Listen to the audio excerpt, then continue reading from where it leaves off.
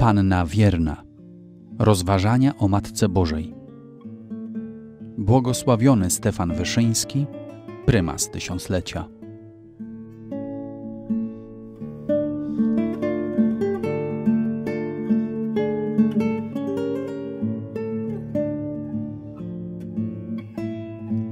Rozważanie czternaste. A Jezus pomnażał się w mądrości i w latach.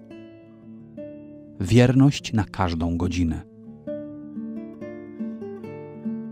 Najdłuższym okresem życia Zbawiciela na ziemi, o którym Ewangelia nie przekazała nam ani słowa, są lata od znalezienia w świątyni do pierwszego wystąpienia publicznego. Nad tymi osiemnastu laty, które Jezus spędził w zaciszu rodzinnego domu i ciesielskiej pracowni, zawarły się wrota milczenia. Historycy i bibliści, znawcy tego okresu, podają nam, jak przedstawiało się życie codzienne rodziny rzemieślniczej w małym miasteczku ówczesnej Galilei. Ale i bez tego możemy sobie to życie wyobrazić na podstawie samej Ewangelii.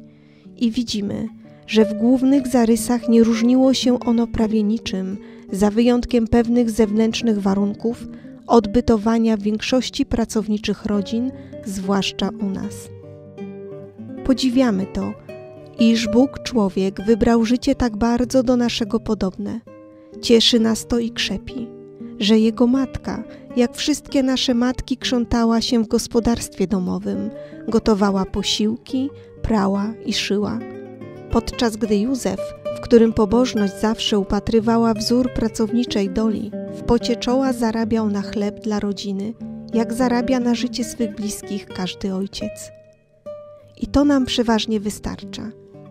Nie staramy się zagłębić myślą w te lata ukrytego życia w Nazarecie. Lata tak wprawdzie podobne do większości lat naszego życia, a jednak jakżeż odmienne. Wiele już pięknych kart napisano o tym, że Pan Jezus tyle czasu spędził w ukryciu pospolitego życia, że On, Pan wieczności i Pan czasu, tak długo odwlekał swoją godzinę.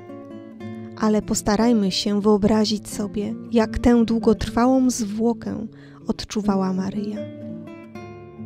Oto na podstawie tylu świadectw, wzmocnionych jeszcze słowami Jezusa w świątyni o jego przynależności do spraw Ojca, wiedziała, że syn jej jest obiecanym Mesjaszem, który przyszedł zbawić świat. W miarę jak Jezus dorastał, musiała coraz wnikliwiej pojmować wszystko, co oznaczały te świadectwa, które nieustannie rozważała w sercu swoim. Musiała już chyba w tych latach ukrytego życia domyślać się, że syn jej posiada moc czynienia cudów, skoro na godach w Kanie z taką prostotą poprosiła go o cud. Musiała więc zapewne od dawna przeczuwać, że Jezus mógłby, gdyby chciał, już rozmnażać chleby, leczyć trędowatych i ociemniałych, czy uwalniać opętanych. A zwłaszcza, że mógłby tych wszystkich ludzi stroskanych i zgnębionych coraz straszliwszą niedolą narodu, tych ludzi trawionych coraz bardziej żrącą tęsknotą za spełnieniem się wreszcie odwiecznych obietnic, obdarzyć wieścią, że oto już stał się cud, wyczekiwany przez tyle stuleci.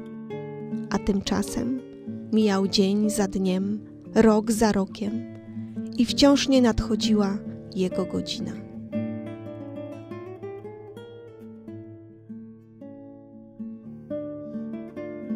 Nie wiemy, czy w czasie tych lat Maryja już kiedykolwiek prosiła Jezusa słowami o przyspieszenie nareszcie tej godziny, jak miała to uczynić w Kanie, w chwili jego wstąpienia na drogę działalności publicznej, kiedy to uznała, że skoro skończyło się długoletnie czekanie, wolno go już prosić o cud. Ale chyba na pewno musiały wszystkie godziny tych osiemnastu lat oczekiwania upływać Matce Miłosierdzia w wielkim bólu. Tym bólu, jakim napełnia każde szlachetne serce myśl, że oto ono samo posiada prawdę. Zostało wyróżnione i ubłogosławione znajomością tajemnic Bożych podczas gdy tyle innych serc i innych umysłów tonie w mrokach niewiedzy, grzęźnie w zwątpieniu lub zadręcza się poczuciem daremności nadziei. Chyba wolno wierzyć, że to macierzyńskie serce, które każda ludzka niedola przejmuje niewymownym współczuciem, to serce wszechpośredniczki łask, które tak głęboko wzrusza każdy ludzki niedostatek i każdy ból, musiało przez te lata cierpieć bez miary na widok tylu nędz, zwątpień i upadku ducha, które nie mogły być zażegnane, bo wciąż nie nadchodziła Boża godzina. A mimo to godzina za godziną opływała jej w niezłomnej wierności milczeniu, strzegącym tajemnicy, jaką jej Bóg powierzył. Godzina za godziną upływała w wierności wewnętrznej zgody na ciągłe odsuwanie się w przyszłość tej tajemniczej godziny, o której nie wiedziała, kiedy ona wreszcie wybije. Godzina za godziną tych długich lat upływała jej wiernej ufności Bogu, który jeden tylko zna właściwą porę każdego ze swych zmiłowań. Godzina za godziną upływała jej wierności każdej godzinie i obowiązkom, jakie każdej z nich wyznacza wola Boża.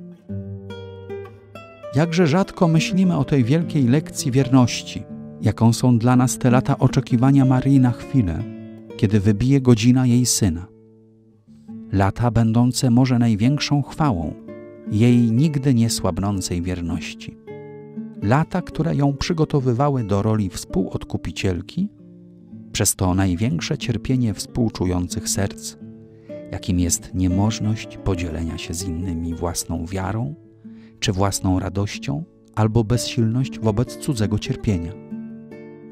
Trzeba przyznać, że dla dusz oddanych Bogu, którym sprawa Boża i jej zwycięstwo leży na sercu, mało jest trudniejszych prób wierności niż owo tak znamienne prawo, rządzące pochodem Bożych zamierzeń, prawo, które można by nazwać i które istotnie nazwano ociąganiem się Boga.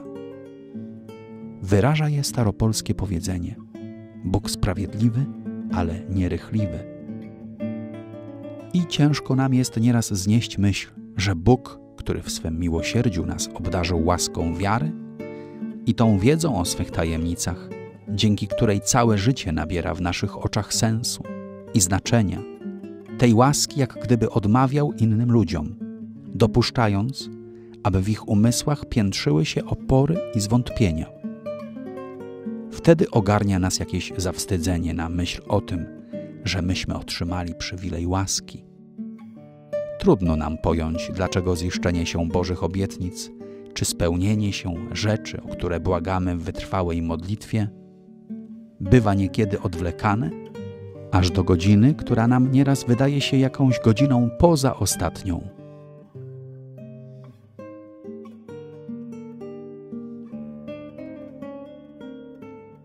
Może się zdarzyć, że nie dożyjemy, że nie ujrzymy już na tej ziemi tych triumfów Bożej sprawy, tych cudów Bożego miłosierdzia, o które błagaliśmy przez wiele lat.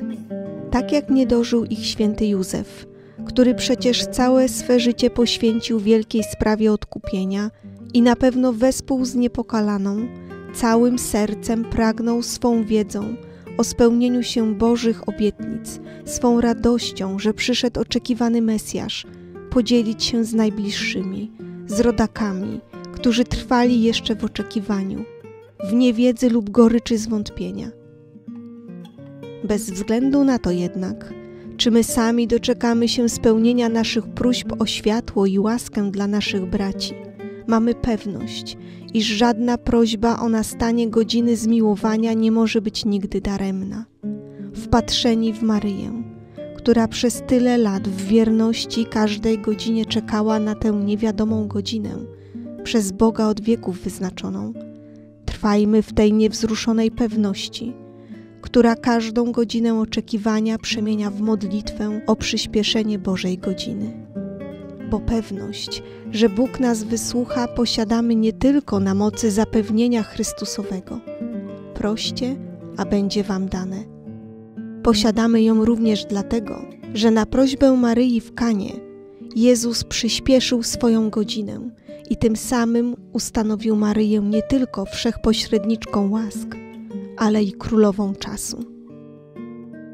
Pięknie piszą o tym autorzy maryjni Maryję łączy szczególniejszy związek z czasem, jak można się było zresztą tego spodziewać. Skoro będąc matką wedle ciała, jest ona historyczną matką tego, który jest królem czasów, gdyż jest królem wieków. Maryja, królowa czasu, jest również królową tego wszystkiego, co w czasie wiąże się z życiem duchowym, królową wszystkich epok, królową wszystkich godzin, królową biegu i przyspieszenia czasu, ponieważ posiada ona władzę skracania go i potęgowania jego szybkości w kierunku dobra i zbawienia. Można więc powiedzieć, że swoim wiernym, cierpliwym oczekiwaniem przez tyle lat na nadejście Chrystusowej godziny Maryja wysłużyła nam, wybłagała nam to, że od czasu pierwszego cudu Chrystusowego ona, królowa czasu, która tak dobrze wie, jak bolesne jest oczekiwanie wiary i miłości na chwilę, kiedy Bóg objawi innym duszom prawdę swoich tajemnic, zapewnia nam możliwość przyspieszenia wszystkich Bożych godzin.